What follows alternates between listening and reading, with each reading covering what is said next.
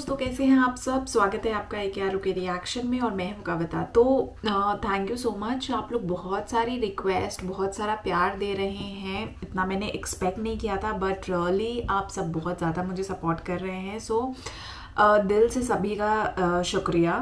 और माफ़ी भी चाहूँगी बिकॉज़ इतनी सारी रिक्वेस्ट आ रही है इंस्टाग्राम पे भी यूट्यूब पे भी तो थोड़ी सी प्रॉब्लम हो रही है कि यू नो रिएक्ट करने में एक एक की डिमांड फुलफ़िल करने में बट मैं कोशिश करूँगी कि मेजॉरिटी आप सबका ध्यान रखते हुए मैं रिएक्शंस करूँ तो बहुत सारी डिमांड्स uh, आई हैं कि किन के किन के ऊपर रिएक्ट करना है या मेजॉरिटी ऑफ़ वीडियोज़ के लिंक आए तो आउट ऑफ़ दैट मैंने कुछ वीडियोज़ को सेलेक्ट करा है जिनके majority of the links Instagram पे भी आए हैं और यूट्यूब uh, पे भी कमेंट में आए हैं। तो जैसे कि आप सबने कहा है कि मुफ्ती साहब तारिक मुफ्ती साहब की वीडियो पे रिएक्ट करें तो आज हम ऐसी ही एक वीडियो आपके सामने लेकर के आए हैं, जिसमें मुफ्ती साहब आप बहुत ही दिलचस्प वाक़ बता रहे हैं। वो वाक़ बेसिकली उनकी दूसरी शादी का। तो एक तो मुझे इनका बयान इसलिए अच्छा लगता है बिकॉज़ जिस भी तरह से ये वाक्य बताते ना, एक तो इनके चेहरे पे एक पूरा एक्सप्रेशन होता है। मतलब जब आप इनको देखें बोलते हुए तो पूरा एक्सप्रेस करके बोलते तो सुनने में ही बड़ा मज़ा आता है। एक पल के लिए भी यू नो नज़र या ध्यान हटता नहीं है। तो वो चीज़ एक बड़ी मज़ेदार है। और इनके हमने पहले भी रिएक्शन किए हुए हैं जिसपे उन्होंने आशिक क्या करे आई थिंक उस पर हमने वीडियो ऑलरेडी बना रखी है, जो कि बड़े मज़ेदार तरीके से इन्होंने एक्सप्लेन करा था। और आज हम ये देखने जा रहे हैं मुफ्ती साहब की दूसरी शादी का दिलचस्प वाक़ तो मुझसे अब इंतज़ार नहीं हो रहा देखने के लिए बिकॉज़ उनके एक्सप्रेशंस उनका वो स्माइलिंग फेस के साथ यू नो रिएक्ट करना और पूरा एक्सप्रेस करना। तो पहले आइए देखते हैं इस वीडियो को और उसके बाद डेफिनेटली हमें मज़ा आने वाला है। फिर हम इसके बारे में डिस्कस करेंगे। तो आइए शुरू करते हैं। तो आइए शुरू करते हैं। मैं अपना वाक्य सुना दूँ अगर आप नाराज़ ना हो, ताकि ये बात मुकम्मल हो जाए। मैंने जब दूसरी शादी के लिए पैगाम निकाह भेजा तो एक तलाक याफ्ता खातून। अल्हम्दुलिल्लाह, मेरी उनसे औलाद है। हम हम चौदह साल हो गए, हमारी तेरह साल हो गए। अच्छी ज़िंदगी गुजर रही है अल्लाह और गुजारे। अपने पर्सनल वाक़ात इंसान शेयर नहीं करता, लेकिन कुछ चीज़ें शेयर करनी पड़ती हैं, ताकि जो मैं बात समझाना चाह रहा हूँ, वो खोपड़ी शरीफ में बैठ जाए। खोपड़ी के साथ शरीफ लगाता हूँ तो इंसल्ट ख़त्म हो जाती है। मैंने मैंने निकाह का पैगाम भेजा। मेरी जो सेकंड वाइफ थी, तलाक याफ्ता भी है। उनके पहले से दो, बच्चे भी। फ़र्स्ट कज़न से डिवोर्स हुई उनको। वो उनके वालिद थे हरी पगड़ी वाले। सही है? कभी ज़िंदगी में उनके वालिद से मेरा रबता नहीं हुआ। किसी ने रबता करवाया कि भाई, एक फ़लाँ इलाके में एक साहब हैं, उनकी बेटी तलाक याफ्ता हैं, दो साल से घर बैठी हुई हैं। आप दूसरी करना चाहते हो, वहाँ पैगाम भेज दो। मैंने कहा, मेरी तरफ़ से आप पैगाम भिजवा दो। उन्होंने पैगाम भिजवा दिया। तो जो मेरे सुसर साहब हैं, उन्होंने मुझे बुला लिया। मस्जिद में भी आए मुझे देखने के लिए, हरी पगड़ी पहन के आए थे। इतने कट्टर। हरी पगड़ी पहन के आए। हमारी पगड़ी का कलर क्या था? वाइट वाइट और ग्रीन में कभी इज्तिमा हुआ? है? लेकिन अभी जो मैं समझाना चाह रहा हूँ, उसको समझो। मैं गया उनके पास, मैंने कहा, जी, फरमाइए। वाइट पगड़ी पहन के गया मैं। उनके घर के गेट पे लिखा हुआ था, या रसूल मदद। और इस टाइप के स्टिकर मिस्टिकर सब चिपके हुए थे। कोई तुक नहीं बनती कि एक वाइट वाला ग्रीन से इतना क्लोज हो जाए। मैं गया, फरमाने लगे कि आप क्यों दूसरी शादी कर रहे हैं? मैंने कहा, मेरा नज़रिया है। मैं आपको घर दिखा देता हूँ, मैं रेंट पे अलग घर लेके दे रहा हूँ। पहली वाइफ से इनका ताल्लुक नहीं होगा, वो अलग रहेगी। यानी होता है ना लोग फटे और झगड़े तो मैंने कहा भाई इनकी सेपरेट लाइफ होगी। पहली वाली की अलग लाइफ मैं अलग घर लेके दे रहा हूँ, आप घर आके देख लें लोकेशन देख लें, और मेरे बारे में मालूम ले लें कि बंदा कोई सुट्टा मुट्टा तो नहीं लगाता, कोई चर्च वर्स कोई भी, वो आपको राइट है पूरा। वैसे भी सुट्टा लगाने वाले आदमी के चेहरे से ही पता चल जाता है, लेकिन हो सकता है कोई डिस्टेम्पर लगा के आया वो तो मैंने कहा, आप हमारे महल्ले में जाके मेरे बारे में पूरी इंक्वायरी कर लें कि बंदा दो नंबर तो नहीं है। पूछ, जो आप इंक्वायरी कर सकते हैं, आप आज़ाद हैं। उन्होंने कहा, भाई, हमने इंक्वायरी की, फिर उन्होंने आके कोई ऐसी रिपोर्ट अलहमदिल्ला सुट्टे मुट्टे की? बस इतना था कि छुप के अंडा मोड़ पे बैठ के चाय पी रहे होते हैं। ठीक है ना? उन्होंने कहा, नहीं, फिर आपकी महाना अर्निंग कितनी है? मैंने बता दी, भाई, इतनी अर्निंग है कि आप की बच्ची खा अच्छा सकती है। बहुत ज़्यादा याशी नहीं कराऊँगा, लेकिन जो प्रॉपर ज़रूरतें हैं वो इन इस आमदन में मेरा ख्याल है पूरी होती हैं। आपका ख्याल है कि नहीं होती तो मना कर दें आप। भाई, उनको तो हक है ना मना करने का। तो कहने लगे, फिर आप दूसरी क्यों कर रहे हैं? आपकी पहली बीवी में कोई ख़राबी मैंने कहा नहीं। मेरे उनसे बच्चे भी हैं, माशाल्लाह फिटफाट हँसी खुशी ज़िंदगी है। मुझे कोई टेंशन नहीं है। लोग कम वक्त क्या करते हैं? दूसरी करने के चक्कर में पहली को बदनाम लाजमी करते हैं। ये बड़ी घटिया हरकत है। कहने, फिर आपका दिमाग ख़राब है? जब पहली में कोई ख़राबी भी नहीं है, कुछ भी नहीं है तो क्यों कर रहे हो? मैंने कहा, मेरा नज़रिया है कि मर्द को इस ज़माने में ज़्यादा शादियाँ करनी चाहिए ताकि खातन का घर बसे तलाक याफ्ता बेवा, बहुत सी औरतें बैठी हुई हैं। बहुत ज़्यादा जब बहस हुई, मैंने कहा, देखें, मैं दूसरी क्यों कर रहा हूँ, ये मेरा हेडेक है। मैं अपने फ़ायदे के लिए कर रहा हूँ, मैं आपके फ़ायदे के लिए नहीं कर रहा। मुझे पता है कि मुझे इस एज में कोई कमारी लड़की नहीं मिलेगी। सही है ना? दूसरी का सुनते ही लोग क्या हो जाएँगे? भाग जाएँगे। मुझे कोई ऐसी खातून ही मिल सकती है कि जिसकी ज़रूरत हो, जिसको रिश्ते कमारे लड़कों के ना मिल रहे हो। तो मैंने सुना था आपकी बेटी तलाक याफ्ता है, दो बच्चे भी हैं तो दो बच्चों के साथ आजकल कौन किसी को एक्सेप्ट करता है? तो अगर आपका ख्याल ये है कि आपकी बच्ची के लिए मैं बेहतर हूँ दूसरी पे तो आप करें, अगर आपको कोई कमारा मिल रहा है तो कतन ना करें आप मुझसे। मैं भी आपकी जगह होता तो कमारे को तरजीह देता सेकंड मैरिज वाले पर। भाई, बाप तो अपनी बेटी के लिए अच्छा ही सोचेगा ना। मैंने उनसे कहा, अगर आपको अपनी बच्ची के लिए इस उम्र में, मेरी उम्र उस वक्त होगी, मेरा ख्याल है पंद्रह साल पहले, कितने साल का मुझे होना चाहिए? यंग था मैं। इससे तो बहुत अच्छा था जो आज हूँ ना मैं। इससे तो बहुत ही हटो बच्चों किस्म का था। तो मैंने कहा कि अगर आपको कोई कंवारा लड़का अपनी बेटी के लिए मिलता है कि जिसके साथ कोई दूसरी बीवी मौजूद ना हो तो मैं खुदा की कसम आपकी जगह होता तो मैं भी उसको तरजीह देता। अच्छे से अच्छा ही सोचना चाहिए। मेरी जितनी अर्निंग है, अगर आपको इससे डबल अर्निंग वाला कोई दूसरी शादी के लिए मिले तो आप उसको दें। क्योंकि आपकी बच्ची वहाँ जाके इतना अच्छा खाएगी कि मेरे यहाँ इतना अच्छा नहीं, मेरे यहाँ इतना खाएगी, वहाँ जाके इससे डबल अच्छा खाएगी। तो उन्होंने कहा, मिली नहीं तो नहीं रहा ना दो साल हो गए। जो भी तलाक का सुनता है, बच्चों का सुनता है, निकाह का पैगाम नहीं भेजता। जो भेजते हैं, वो बुढ़े बुढ़े लोग भेज रहे हैं। बुढ़े बुढ़े पचपन साल, साठ साल, इस उम्र के रिश्ते आ रहे हैं। तो उन्होंने कहा, यार, हम कैसे कर सकते हैं? नहीं तो ज़ाहिर है, बुढ़ापा भी तो एक जवान लड़की के लिए एक ऐब की बात है ना। तो मुझे कहने लगे कि, यार, नहीं आ रहे। मैंने कहा, फिर आपकी मर्ज़ी है। कहने छः महीने का हमें सोचने के लिए टाइम दें आप। मैंने कहा, मैं इस छः महीने क्या आप सोचने के लिए दस साल का टाइम ले लें, लेकिन मैं रुकूँगा नहीं। मुझे अगर इस दौरान कोई रिश्ता मिल गया, इससे अच्छा तो मैं वहाँ हाँ कर दूँगा। क्योंकि मैं अपना फ़ायदा सोच रहा हूँ। मैं देखो, ये इतनी तफसील से वाकया इस फलसफे को समझाने के लिए सिखा रहा हूँ आपको कि चार शादियों का फलसफा है क्या? मैंने कहा, मुझे अगर इस दौरान कोई इससे अच्छा रिश्ता मिल गया तो मैं फ़ौरन वहाँ हाँ कर दूँगा, फिर तीसरी पे आपको पैगाम भेज दूँगा मैं। ठीक है ना?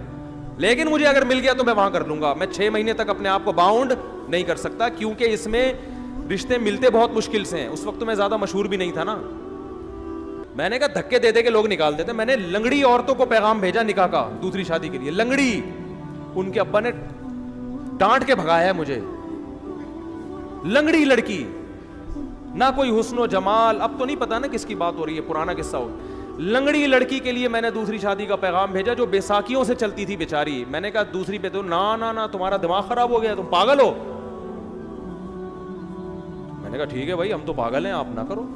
आप कमारे से कर दो। मैंने अल्लाह की कसम लकवा की मरीज़ खातून को पैगाम निकाह भेजा है दूसरी शादी के लिए। लकवा की। मुँह नहीं हो जाता थोड़ा सा लकवा से।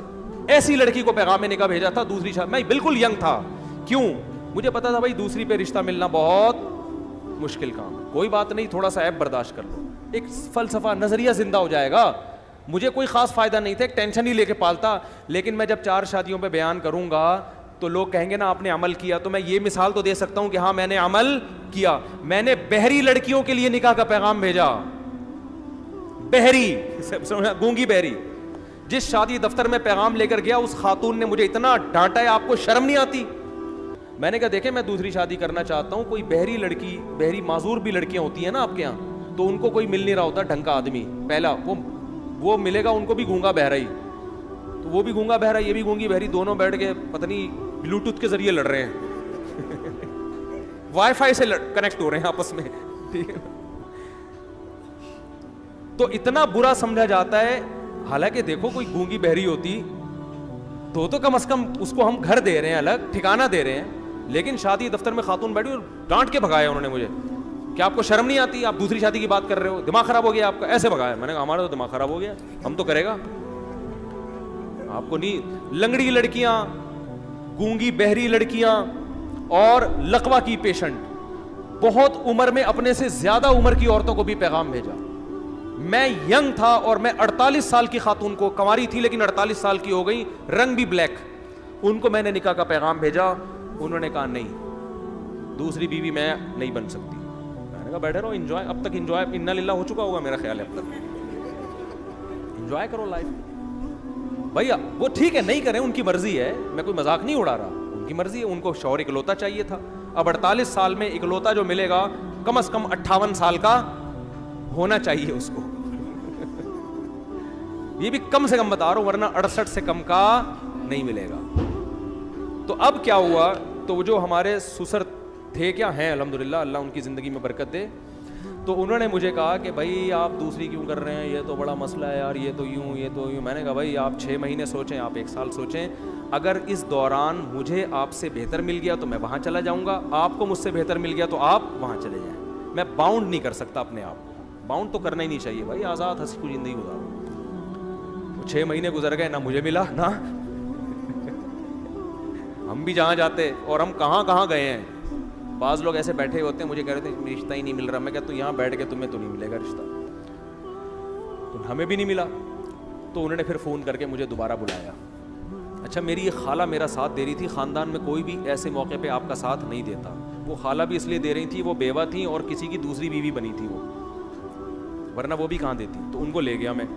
जब हम वहाँ गए हैं, पहुँचे हैं तो मेरे सास, ससुर, अल्लाह उनकी उम्र बरकत दे। मेरे सामने आके बैठे और कहने लगे, मेरी खाला भी थी। उन्होंने कहा हाँ भाई, बात सब तय हो गई कि भाई चलो।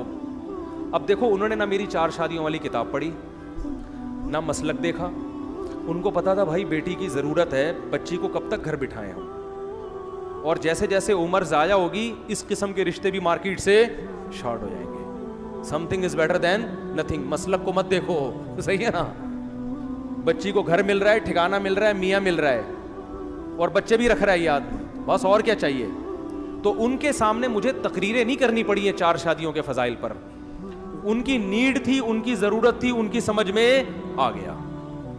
छह महीने बिठा के भी देख लिया मजीद। दो साल पहले, छह महीने और। उनका भाई, रिश्ते आए इस दौरान, सब आड़े तिरछे आते हैं। आड़े तिरछे। तो उन्होंने कहा, यार, ये बंदा ठीक ठाक लग रहा है। फिर मेरी खाला ने उनसे ये बात कह दी कि ये मजीद शादी नहीं करेगा। मुझसे पूछे बगैर कह दी वो भी भर गए। अबे ये क्या? चलो हम दूसरी पे दे रहे हैं, अभी फिर मजीद भी करेगा ये। अच्छा मेरी खाला ने मुझे नहीं बताया। हम आ गए घर, मेरी खाला ने कहा कि मैंने उनको तसल्ली दे दी है कि वो तीसरी शादी नहीं करेगा। ये मैंने तसल्ली दे दी। मैंने कहा, आपने किससे पूछ के तसल्ली दी उनको?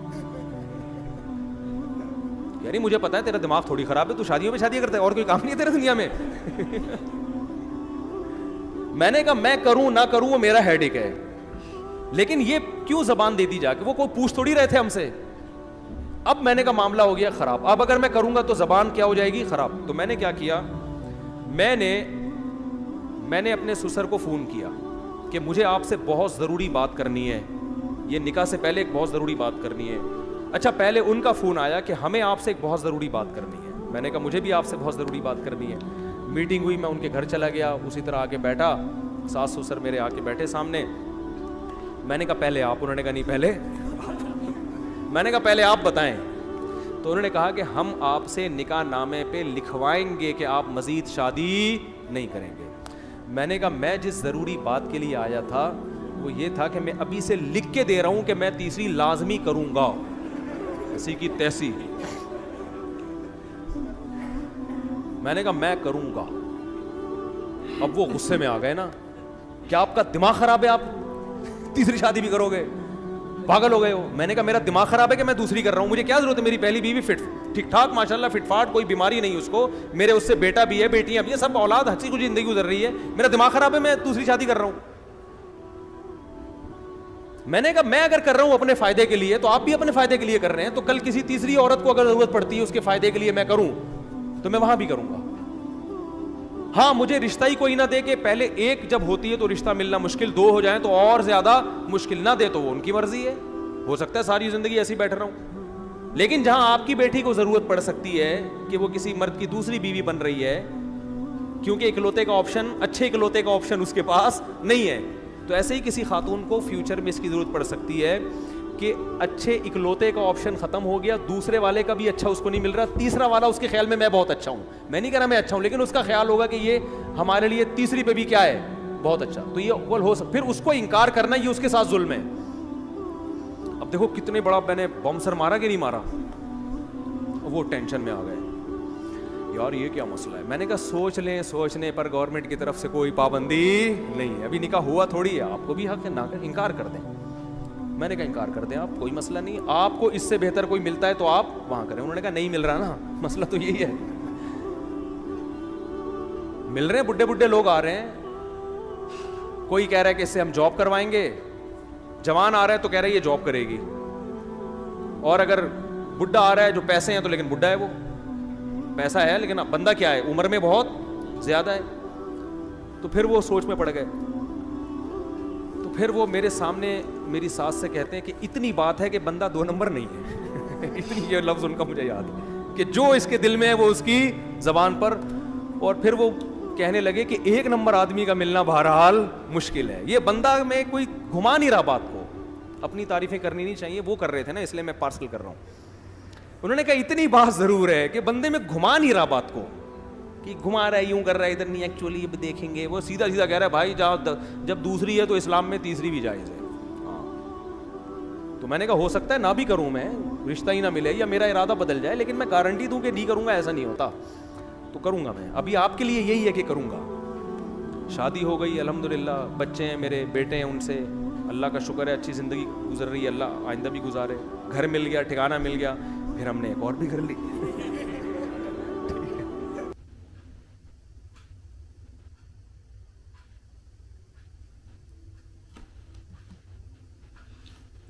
तो बहुत जैसे मैंने कहा था कि इनका जो वाक्य बताने का तरीका होता है वो हमेशा बहुत दिलचस्प होता है और उसी तरह उन्होंने बहुत अच्छे से एक्सप्लेन करा। हाउ एवर मुझे आप सबसे ये जानना है आ, क्योंकि मैं इतना नहीं जानती हूँ अभी मैंने इसके बारे में क्योंकि पढ़ा नहीं है तो आ, बहुत अच्छा होगा अगर आप सब मेरी हेल्प करें। तो इस्लाम में आई थिंक जैसे इन्होंने बोला कि आप कितनी शादियाँ कर सकते हैं? क्या उनका क्या पर्सपेक्टिव होता है? आप ये जो हेल्प की पर्सपेक्टिव से करते हैं आ, क्या बेसिकली प्रोसेस होता है? क्या ऐसा एप्लीकेबल होता है कि एक कितनी आप शादियाँ कर सकते हैं? कोई लिमिट होती है या लिमिट नहीं होती? क्योंकि आई थिंक आप आ, किसी की हेल्प करने के लिए इसे करते हैं राइट उनकी बातों से जहाँ तक मुझे समझ आया। तो इसी का कंफर्मेशन और इसके बारे में अगर आप मुझे और कमेंट करके बता सके तो वो काफ़ी हेल्पफुल रहेगा या इससे रिलेटेड कोई और सजेशन आप मुझे दे सकते तो वो हेल्पफुल रहेगा। अदरवाइज़ आई विल एक्सप्लोर मैं थोड़ा सा और पढ़ूँगी इसके बारे में about marriages in Islam but अगर मैं बात करूँ एंड फोकस करूँ सिर्फ़ मुफ्ती मसूद साहब की तो जैसे मैंने बोला कि बड़ा मज़ा आता है उनकी चीज़ें सुनने में, उनका वाक्य सुनने में and same was this and आप सबसे यही है कि आप सबकी वीडियोस में लेके आ रही हूँ रिएक्ट कर रही हूँ तो आपको मेरे साथ इनको देखना पड़ेगा, इनको सुनना पड़ेगा। सो जो वॉच टाइम होता है बेसिकली वीडियो का आई की मॉनिटरिंग दैट एंड उसके रिज़ल्ट अच्छे हैं बट आई वॉन्ट कि आप सब मेरे साथ पूरी वीडियो देखें। एंड इसी तरह कमेंट करते रहें, प्यार करते रहें, अपनी डिमांड्स भेजते रहें एंड मैं मेजोरिटी को जल्दी जल्दी कंप्लीट करने की कोशिश करूँगी। बट ओवरऑल आप सबका इतना सपोर्ट इतने प्यार के लिए शुक्रिया। एंड मैं मिलती हूँ आपसे अगली वीडियो में। तब तक के लिए टेक केयर एंड अपना ध्यान रखिएगा। Bye bye